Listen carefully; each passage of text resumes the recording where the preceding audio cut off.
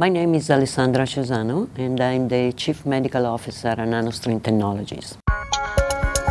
I would like to take a few minutes to share with you one of the major challenges that the field of cancer immunotherapy is experiencing today, the development and implementation of personalized cancer immunotherapy. And that is uh, really the development and the application of uh, personalized immuno-oncology. That is essentially a therapeutic approach in which uh, we use selected biomarker to match mechanism of action of a drug with biology of the patients.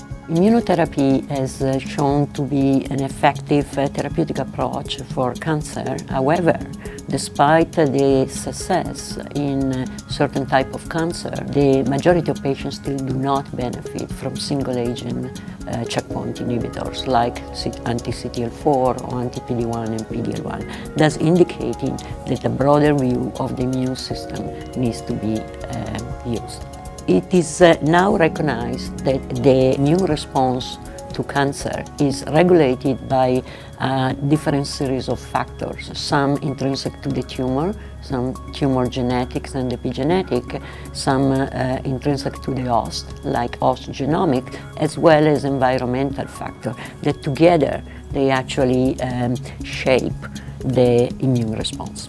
So these factors uh, are um, largely measurable today, but the measurement is done by different technology platforms that allow to independently or separately measure where the informative analyte, like RNA, DNA, and proteins. The fundamental challenge in translational immuno-oncology is really how much information we can get from a smaller clinical sample and how we can integrate all these different data in biological and actionable information in a timely fashion.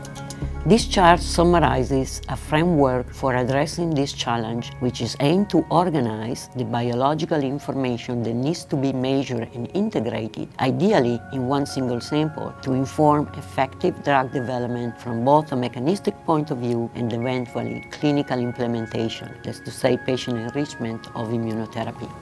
Anti-cancer immunity in humans can be histologically segregated into three main phenotypes the inflamed phenotypes, also known as hot, the immune-excluded phenotype, and the immune desert phenotype, the latter two considered cold tumors.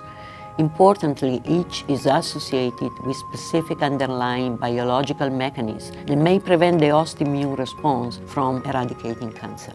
Understanding what these mechanisms are at the level of the single patient is therefore critical for both development and clinical implementation of current and new therapeutic approaches. In the context of the current treatment landscape, as to say checkpoint inhibitors, the inflamed phenotype, which reflect the presence of an adaptive immune response peripherally suppressed, has been associated with the response to these agents. Therefore, understanding if a tumor is inflamed or not should be the starting point in the immunological characterization of any samples. The tumor inflammation signature, a gene expression profiling algorithm recently described by Ayers, is therefore at the basis of this conceptual framework. However, we do know that although necessary, the presence of an adaptive immune response is not always sufficient for response to PD-1, PD-L1 blockade, since additional mechanisms of peripheral immune suppression might exist, include additional checkpoint inhibitor as well as negative regulatory cell type like Tregs, myeloid-derived suppressor cells. So this additional biology needs to be evaluated simultaneously in all inflamed tumor to guide single agent and biology-based combination. On the non-inflamed phenotype, the next important goal is to understand if defects in T-cell trafficking of deficit in appropriate T-cell priming activation are at play, since each can be conducted to distinct mechanistic reasons that may be intrinsic to the tumor, such as activation of oncogenic pathway, which alter the local chemokine states or the presence of vascular factor or stroma-specific inhibition specific to the host makeup. Identification of these bottlenecks operating at the level of the single tumor is critical since the therapeutic approaches are going to be different.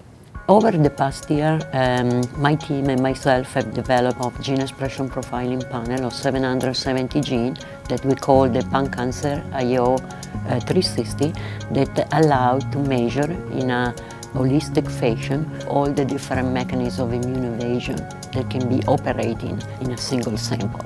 So the panel, together with a dedicated analytical tool that allowed for an integration, processing and visualization of the data, represent really an approach for collecting and then translating the relevant data we derive from the panel in information and actionable knowledge that we can really translate in preclinical and clinical drug development.